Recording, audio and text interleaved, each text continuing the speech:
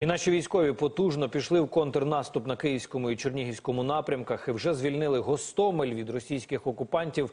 Невідомий патріот Євген Строкань закликав місцевих мешканців теж не поспішати повертатися до своїх домівок, адже нашим військовим потрібно буде ще перевірити місто і зробити опорні пункти від можливого нового наступу ворога. Так, е, я урочисто хочу заявити, що Гостомель зараз деокупований, і найближчим часом ми туди зайдемо. Е, Москва залишили Гостомель майже без бою.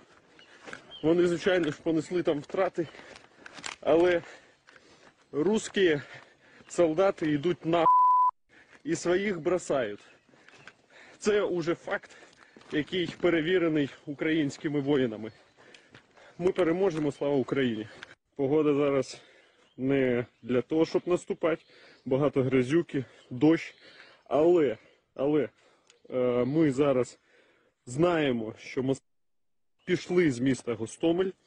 Їх там зараз немає. Пішли вони як е, лякливі зайці, майже без бою.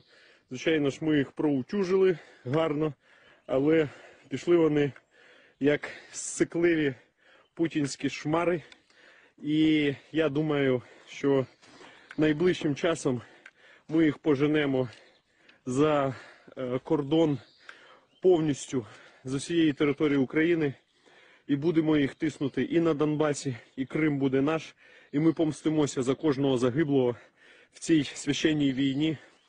Ми помстимося за кожен зруйнований будинок, за кожен квадратний метр української землі, яку топтав смердючий російський чобот.